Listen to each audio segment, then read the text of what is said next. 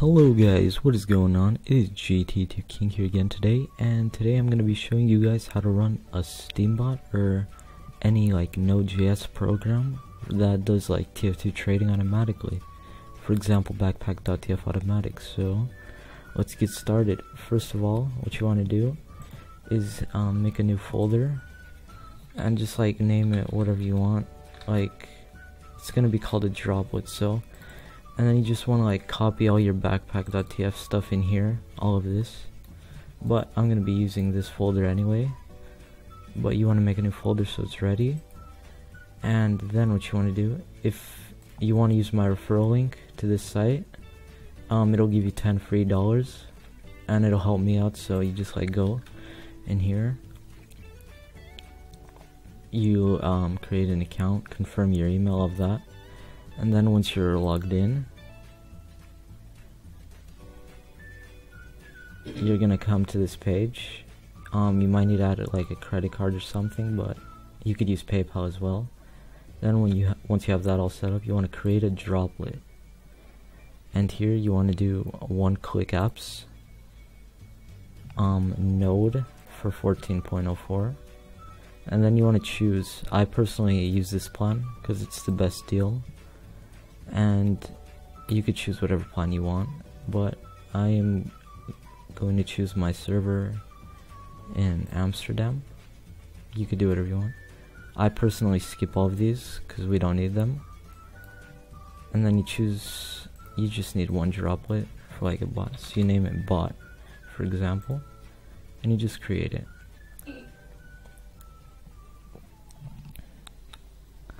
And while it's doing that you want to go into your email account that you have it set up with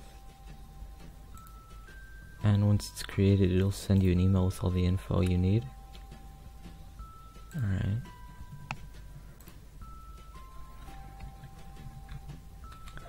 alright now that it's that it's been created you want to go to your email let's refresh this Alright. Oh. Um, you'll get um an email. I'll be right back once I get it. Alright, so just got the email a few seconds after. And here you have all the info you need. So first what you want to do is um you want to go into the DigitalOcean. It should have this page up. You want to click on the console.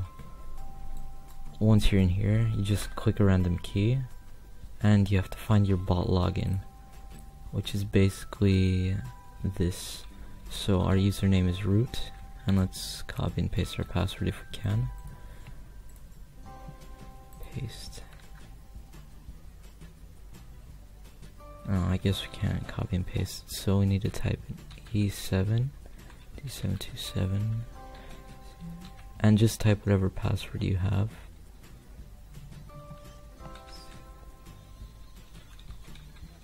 There we go. And then you want to type it again.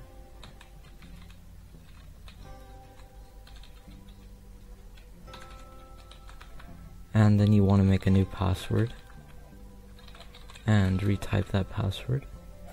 And there you go, you should be in on this. and now what you want to do is sudo apt get update. I'll have all these links and like codes in the description. And it'll run that. Now what you want to do is go to FileZilla project.org and you want to download the FileZilla client for all platforms and then just click download FileZilla. Um, skip this. And it'll download it and install it. But since I already have it done let's go here and open FileZilla. And you should have a page that looks like this. So in here you want to get the IP of the server which is this paste it in here. Root is the username and the password the Unix that you typed in the console. So I'll put mine in. And the port is 22 and then you just type quick connect. Always trust this host.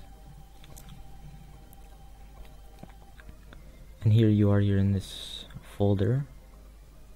So now what you want to do? I personally like to have my bot in this um, main folder area. So we want to, once you're here, you want to right click on this empty space and create a directory. Not an etc. Create directory. Um, and we'll call it bot. Or, yeah, bot.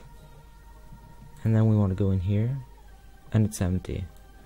So now we want to go to where we have our folder for the bot and it should have it all over here.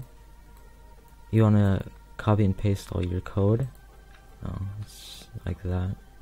And you just want to drag and drop it into the remote site. And this will take um, a bit, so let it run. And I'll be right back when it's done. Alright, so just finish transferring the files and now it should all be ready in the directory. So then what you want to do um, you want to go to your console right here. You want to do cd dot dot so you're at the original directory. And then you want to type cd bot which is the location of the bot. And then you just want to do like node automatic.js node bot.js app.js whatever you use. And it's running so it reads all your trade offers and that's it. It all works automatically. I'll look at these later. But um yeah thank you guys for watching. If you have any problems um let me know in the comments or add me on steam. All these links and codes will be in the description so hope you guys enjoyed. If you did drop a like and I'll see you guys at the next video